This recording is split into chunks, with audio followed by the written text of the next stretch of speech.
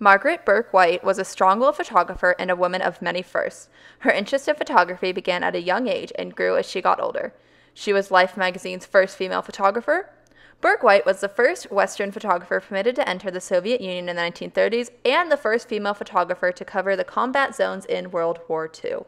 This particular photo was taken in Germany during the liberation of Buchenwald in April of 1945. It shows Buchenwald survivors being examined after the U.S. troops came in.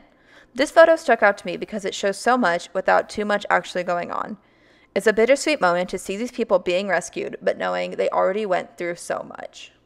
An interesting fact about this photo and many others that were taken that day is that they were not published until 1960, almost 15 years after they were taken.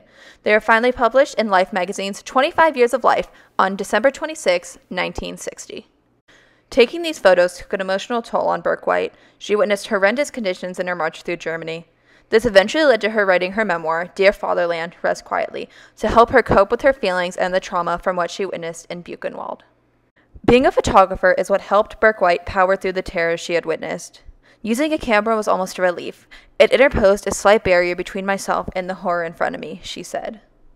After the liberation of Buchenwald, Bourke White went on to live a very fulfilling career. One of her most noteworthy photos and moments overall is her photo of Gandhi and his spinning wheel, which she captured just hours before his assassination.